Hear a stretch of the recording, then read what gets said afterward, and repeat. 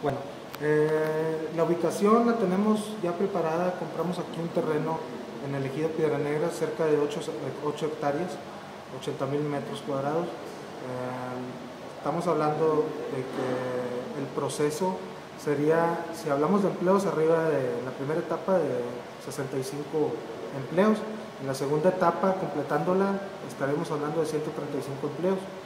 La inversión total de la primera etapa son 18 millones de pesos. Ya empezando la segunda etapa estamos hablando alrededor de los 32 millones de pesos. ¿Hay precedente de un eh, trabajo de ese tipo en, el país? Eh, no, somos los únicos, empezaríamos aquí en Piedra Negra, seríamos los primeros, nosotros como empresa seríamos los primeros en empezar este proyecto en Piedra Negras. Solamente hay en China la India y Pakistán. ¿Contamina la capacidad de la, de la misma?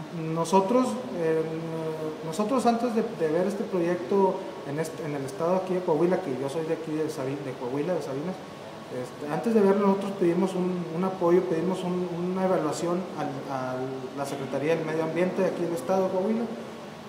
Vieron, realizaron el, el proyecto, lo checaron y nos avalaron el proyecto en forma positiva.